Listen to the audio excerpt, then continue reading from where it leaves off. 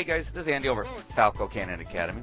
Hey, I wanted to share this video. I'm very proud of our uh, security professionals.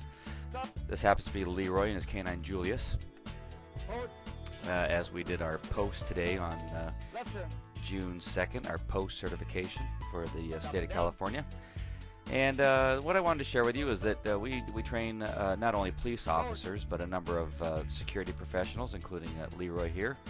And uh, very proud of these guys. You know, they don't uh, quite get uh, the recognition that many of our police officers do.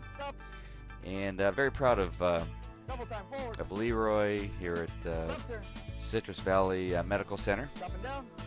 And then, of course, our Long Beach Memorial Medical Center guys our guys out in Washington D.C. and uh, up in the state of Washington. They're just, you know, they're they're unsung heroes that uh, keep everybody safe when they are at their most vulnerable uh, in a hospital.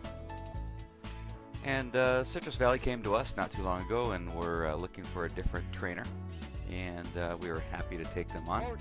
And hopefully um, they've enjoyed their time with us and have, have, come along and added to their um, their their program with us. Uh, of course, when they joined us, they joined a team of uh, handlers from Long Beach Memorial Medical Center, and uh, we're recently in our uh, security course that we had uh, all of our handlers from across the United States. So. Watch this, and you'll see that what we do is we put them through a, a series of obedience um, commands, which include heeling turning, stopping and sitting automatically, obviously, uh, down on command, on leash and off leash, normal pace, and then double time.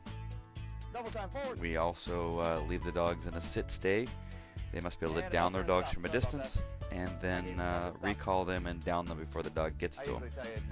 And, you know, nobody's perfect, and uh, especially when we uh, throw this at them suddenly, like we did uh, on this particular day. Um, they came to training thinking we were just going to have a regular training, and I said, nope, we're certifying today. And um, I think they did a great job.